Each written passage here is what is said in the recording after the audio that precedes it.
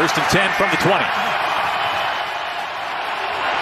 Heinicke looking end zone, and it is intercepted by Rodney McLeod. Well, great in and out underneath coverage. There's the over route. You're going to see Harris on the inside take underneath. He knows he's got a safety over the top. Did McLeod keep that? Did he get his hands underneath? All turnovers reviewed.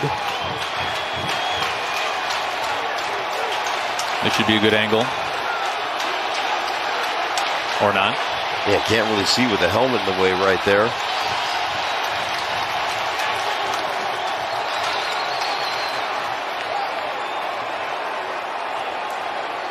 Looking for the rookie tight end, John Bates. McLeod, who had a pick last week, comes with a critical takeaway here.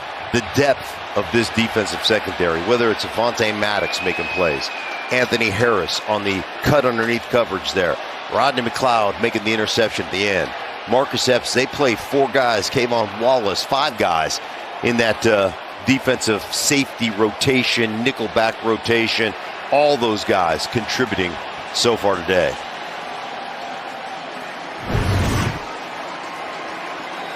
It looks like the feet got tangled up. I think that's where Bates went down. And look at the hands underneath.